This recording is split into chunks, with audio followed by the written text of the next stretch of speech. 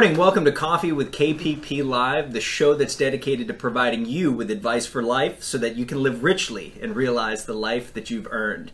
This is episode 12. It is the last episode of 2020, and I'm joined with my partner and associate, associate Ben Hopper. Hi, everyone. Hope you all are doing well. Had a great Christmas and are looking forward to the end of the year and the start of next year. Enjoy your New Year's Eve safely right? That's we right. we don't want any more surprises at the end of 2020, and we want to start off 2021 as good as we possibly can. We know it's going to be another weird holiday. We had Thanksgiving, Christmas, and New Year's. Are we know they're all going to feel different this year than they have any other year. So, like Kyle said, hope you all enjoy it safely and see some family, see some friends. But um, yeah, That's it. And at Kentucky Planning Partners, we've seen a lot of change this year, as we all have. Actually, this show came about as a result of the changes in the world.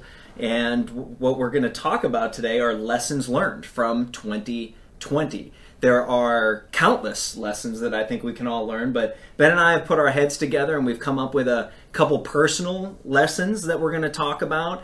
And a couple of financial lessons as well when it comes to managing money, financial planning, and your financial future. So, this is really going to be a look back on the year, and uh, I think it's going to be introspective for both of us.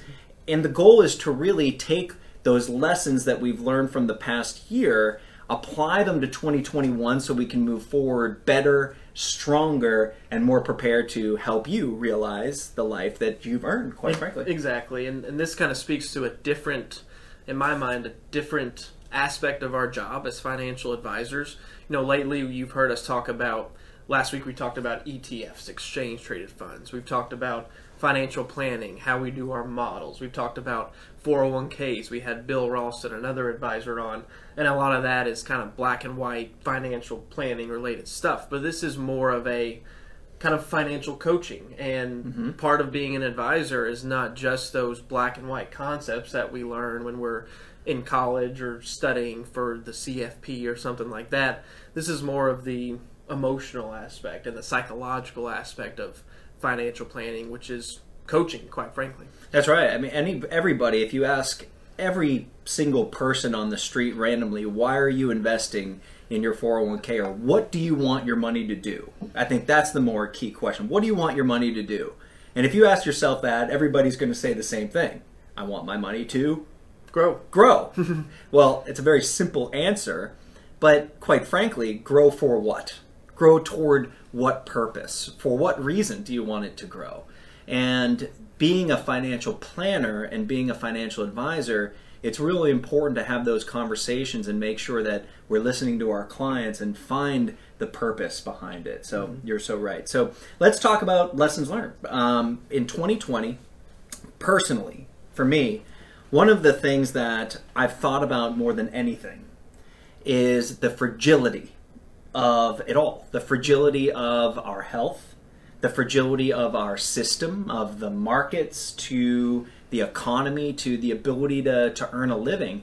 Because I'll tell you, going into 2020, if somebody told me that in this year we were going to see over a million people pass away, lose their lives because of a pandemic. We're going to see more than 30% decline in the market. We're going to see joblessness, riots in the street, and mm-hmm. social unrest. I would think that we'd be coming into the new year of 2021 with with the hope that we'll be able to have a future, mm-hmm. if anything, right? Mm-hmm. So there's a great podcast that I was introduced to this year. One of the things that came out of this is a great podcast called The Happiness Lab with Dr. Laurie Santos. I encourage all that listen to this podcast to get that and subscribe. And in the first episode, she talks about just this in that if I were to tell you that, Ben, if somebody said, in 2020, what's it going to look like? And I were going to tell you to a T what it was going to be, mm-hmm. how would you feel? not good i'd feel dismal i'd feel hopeless and you know we hope that through this all like kyle said i mean it could be a lot worse right now given all that's happened we think that the future is quite bright to be frank Exactly, and to the point, right? In the happiness lab, you would think the world would be coming apart. But I think in lieu of all this, the fragility of it all, and no matter how bad things are, to be able to take stock in how we've grown from this, how what what what have we can we take away from this so that we can move forward better, stronger, stronger communities, stronger families, stronger individuals. Um, if you've lost your job, perhaps maybe it was a situation that had allowed you to find a passion, or if you're looking for a passion, maybe you could utilize the opportunity to take a step back, slow down, so to speak, so that you could go faster in mm-hmm. the future. Because what Dr. Santos talks about in the Happiness Lab is when bad things happen, we expect the bad to be much, much worse than what really happens. And we also expect good things to be much mm-hmm. better than what really happens. But how often have you heard somebody say, Yes, that was a horrible experience, but I'm better for it? Exactly through this all you learn you learn things and ultimately what you what the goal is is to learn from them and apply them to the future if you make a mistake what's the old adage you learn from it and you try not to do it again it's kind of the same thing here you got to learn from history learn from the past move forward and i think the baseline of it all is to just not not take things for granted uh, like kyle said if you know there's been deaths there's been fragility everywhere. So we have to know moving forward that you just can't take things for granted, and you have to live and appreciate everything that we we have. That's right. And you know, when it comes to financial planning, so to speak, you might be watching this thinking, "Okay, yeah, take it for granted. That's old cliche. I get it." But how many people do you know? You yourself might be one where you're putting off saving. You're putting off your your ability to earn or earn the time that you're looking forward to live your life and um, a lesson that I have from this year is I'm very I'm very very grateful for this is when I was a young person I, I am so grateful for my family uh, but you know we grew up very blue collar hard working family and I got my first job in corporate America when I was 18, and somebody said, I don't care what you do, but save as much as you can. save as much as you can because you'll thank me later. I know it's hard, and just do it. But I've learned at 37 if I didn't start saving when I was 19 years old and putting every dime I could, maxing out my 401k, and the sacrifices it took. My wife and I had a lot of very difficult conversations over the last 15 years, but if I hadn't prepared, I wouldn't have been able to make this career transition and serve the people or, or have relationships with the people I'm serving as an advisor. So, so preparedness, you make your own luck, and I'm so grateful to have mm-hmm. received that advice, taken action, and no matter what happens in the world, you can still control your destiny and give yourself the opportunity to pursue your dreams as long as you're taking those steps necessary to do it today. So yes. don't put it off. Don't put off saving. Don't put yes. off chasing your goals. Yeah, yeah. Have a plan. I think that is the a summary of kind of what Kyle just said. Is you have to have a plan, whether it be a financial plan, whether it be a plan for your career, whether it be a plan for your family. Who knows? Whatever it is, I think having a plan is what it all goes back to, and you have to be intentional. You have to know where you're going. You have to set goals. These are all things that, when we experience a year like 2020, those are things that are going to help you get through those tough times to really continue moving forward. That's right. Yeah, and, and I mean, how many how many people had expectations for the year and to to go on vacations with their family or start a new career perhaps start a new business maybe there are people are going to watch that that had started a business and things change but to be able to have a long-term perspective a long-term vision a support structure of people that you love trust and care about you're never alone. And everything that you want to do, the more people that you have around you that you're able to bring into that circle and know you and what you want to be and know you who you want to serve and what you want to do will increase the likelihood that you do that. Absolutely. If you if you go it alone, yeah, you could succeed, but it's going to be exponentially more difficult. Having a network, having a network of people you trust, whether it be family, friends, colleagues, that's the key to a year like this is, is having that support. It's it's huge in my mind. And I've experienced it. I've experienced it with my family, friends, and people I work with here at KPP. It it makes all the difference in the world when we struggle, when we have a year like this. The, it's the people around you that are gonna push you to fight through it. That's right. That's right. And um, and it, you know it's ironic because with social distancing, um, it's more difficult to spend the time with the people that you love and care about. But just 15 years ago, if this happened, our ability to connect with our audience via Facebook Live, our ability to do FaceTime with our loved ones, even if they're across the street and we can't go see them. Mm-hmm.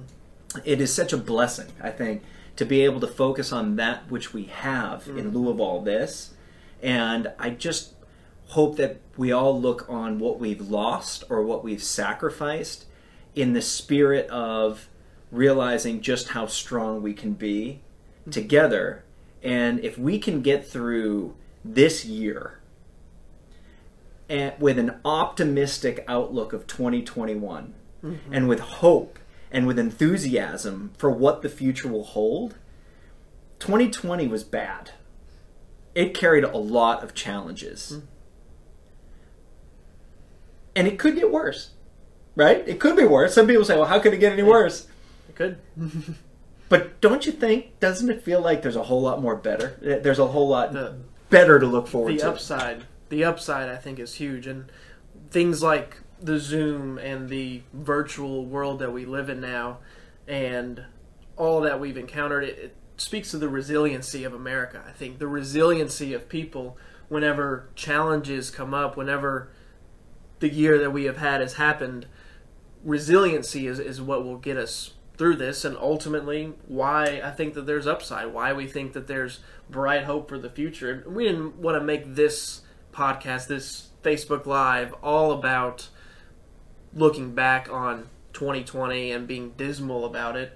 But we wanted to reflect on it, talk about it at and the end real. of the year, and be real. Mm-hmm. But then here in just a second, I think we're going to transition into 2021. What it, what it means to have the turn of a new year, what we can look forward to, hopefully, how to really improve on what we can improve on, how to set goals, how to really take the turn of the new year as a as a starter for something really big in in your lives and our lives. Mm-hmm.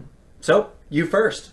sure. So so I think I think the the big important thing is to set goals. You know, you've heard it. It's a little bit of an old adage, but it's so so important. Mm-hmm. I found in my life that things that I've accomplished have been because of I've had goals. And so setting goals for the end of the year. What do you what do you want to accomplish in 2021 that you didn't get to in 2020? Mm-hmm. Some of this might be limited to, you know, COVID, what the future holds, what social distancing rules and guidelines apply. You might not be able to, you know, do everything you ever wanted to at the start of the year, but what are some things you can do? What are some things that you can control?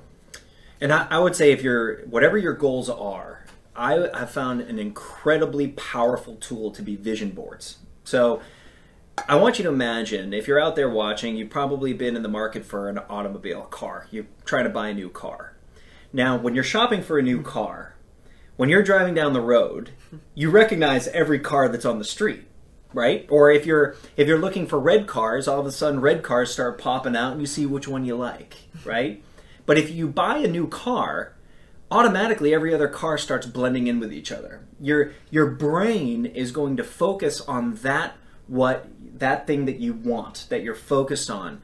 And I can't encourage you enough. In my life, I've had a lot of success with vision boards in that every day if you look at something, the likelihood of you realizing that dream is exponentially higher. I, I recall a story of a, an Olympiad. I'm just kind of spitballing here, but there's an Olympic athlete several years ago that got the world record. I forget who it was. I'm gonna have to Google it, maybe put it in the in the notes. But he or she put up. I think it was a swimmer. It was a swimmer, the U of L swimmer here. She put up on her vision board or in her bedroom the world record times of the swimmers hmm. before her, and she ended up crushing everybody. I forget her name, but that's a perfect example of a vision board. If you're looking at something every day and you live it and you breathe it and it becomes part of who you are, you're most likely going to accomplish that. So, so right. you're right. Have goals, but make the goals a reality and tangible and mm-hmm. see them and share them with the people you love, your spouse, your children. Make collective family mm-hmm. goals and go do them because mm-hmm. you don't want to come to the end of the year with regret. You want to come to the end of the year with memories. Right. And the most important thing about goals, Kyle, you kind of touched on it right there, is smart goals. You might have heard of that before, but anytime you make a goal, you want to be sure that it's not just out there in the sky. It's not just an unrealistic dream, so to speak. If you're making a goal, a SMART goal, it's a it's an acronym, S M A R T. You want to make it specific, measurable, attainable, relevant and timely or time bound. That's that's what a SMART goal is. I like that. It's a it's a specific goal. It's measurable. There's a number on it. You know, if you want to lose weight, then you can't just say I want to lose weight and expect it to happen. You know how many pounds. You is it 30 pounds? Is it 20 pounds? Is it 15 pounds? Who knows? You have to make it attainable. It's got to be doable. It can't be totally unrealistic. Mm. If it's relevant, it has to be. It has to make sense for your life. It has to make sense for your path and where you want to go. And then timely, time bound. You have to have set yourself a deadline. You know when when do you want to lose weight? Do you want to lose weight 15 pounds by March? Do you want to lose it by June? Who, if you put a time bound on it, then you find yourself more likely to take all the steps necessary along that way to reach your goal by the deadline you set. so, it. making it specific, measurable, attainable, relevant, and timely is more likely that you're going to achieve your goals. It's brilliant. Yeah. I love it. That's great. And you know, it, with what we do as well, financial planning. We're building financial plans for people. I guess to mm-hmm. tie it all in to what mm-hmm. we do. Right. These are the things that we're thinking about in the background, mm-hmm. um, because we might have people that come in that that want things that are unrealistic, and to manage expectations and a- achieve those goals is so important to be on the same page. Mm-hmm. And I just for I foresee a situation where we might have to look somebody in the eye and say, "I'm sorry, mm-hmm. um, we're here to help you accomplish the best life that you can, mm-hmm. and unless you do these, that, this, that, or the other thing, that goal is just not attainable." So right. having some accountability there is key. That's great. I love Yeah. it. It's smart. Yeah, and it speaks to you know one of the big areas that we work in is sometimes life insurance. If if someone if there's a young family, for instance, and there's a in a good income coming in and there's children, term life insurance is going to be a key part of that financial plan. And so if, if your goal, if your thoughts are, well, I want to get life insurance, to go back to that smart goal analogy, you need to know how much life insurance. You need to have a goal as to when you want to have it in place by. You need to know how long you want it for. And that's just one example of how you can tie goal setting and moving forward and protection mm-hmm. into your lives moving forward. So Yeah, you know, and, and another thing too is is change. I know change at times when we when we think about goals, a lot of people gravitate towards the path of least resistance mm-hmm. and don't accomplish them because they're difficult. Mm-hmm. And I, in my experience, have found that difficult is the most fun.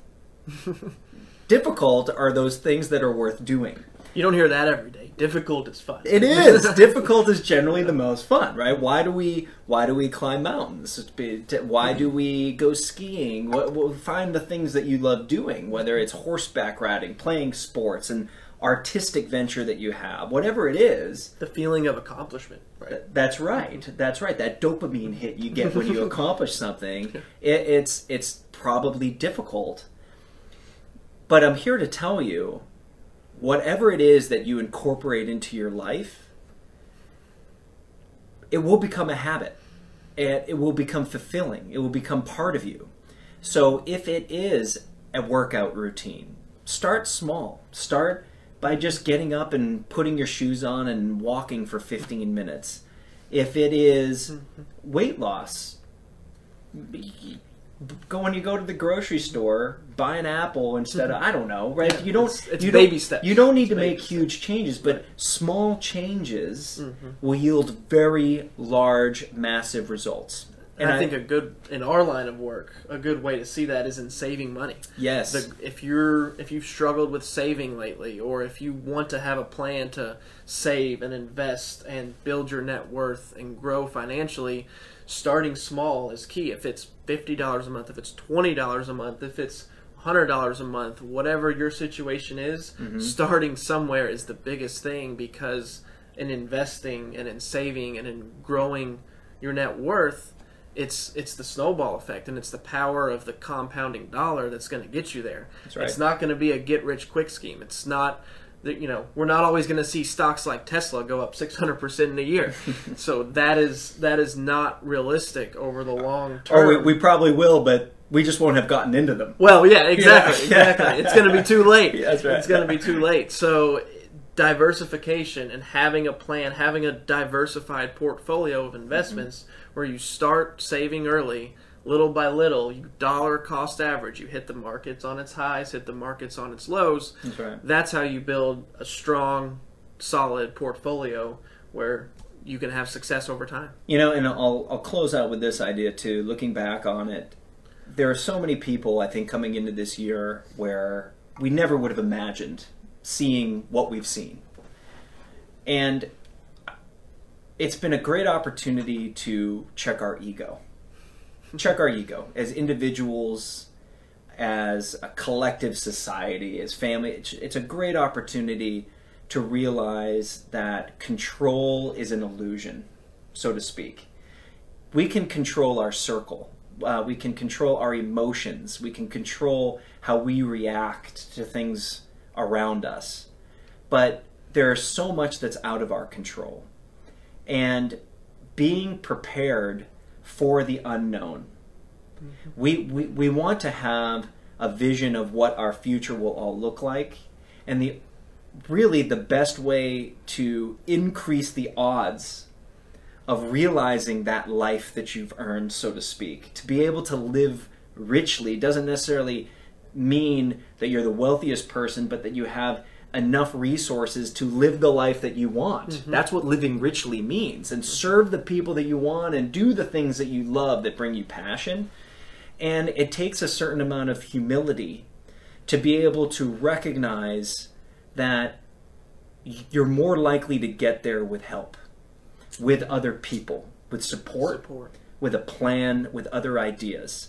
We talk about diversifying assets.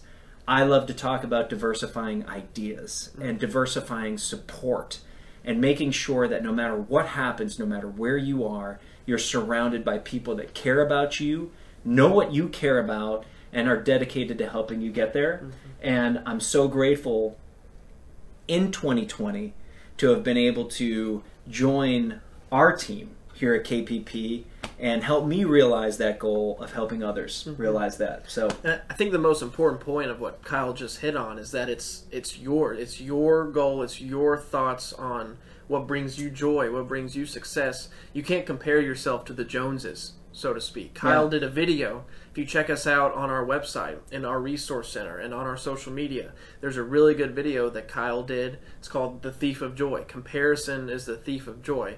Kyle's the expert on it and can talk about it for forever probably but if you compare yourself to others that's what's going to rob you of that joy of being able to as kyle mentioned realize the life that you've earned mm-hmm. live richly. Comparing yourself to others is going to rob you of that. So Agreed. remembering Well that remembering that as you set goals and as you think about what you want to accomplish make it yours. You mm-hmm. know don't don't compare yourself to the joneses because you know who knows what's going on in their life it's just it's just not um, not the best way of thinking and, living in our opinion It's beautiful. It's true. It's beautiful. So, with that said, on behalf of Ben, myself, and everyone here at Kentucky Planning Partners, we wish you all a great 2021. We appreciate everybody tuning in week after week. We're excited about the content that we have coming forward uh, in 2021. We have great guests that we have lined up, business owners and business leaders throughout Louisville and beyond.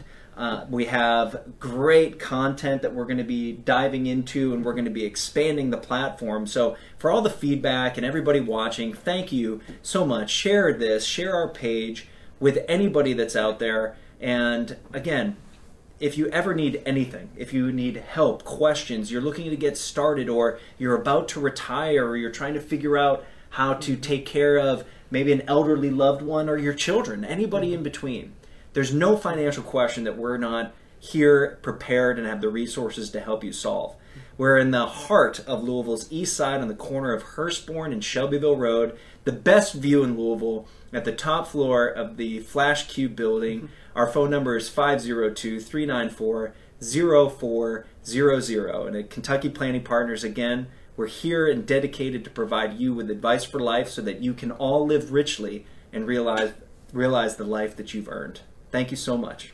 Thank you.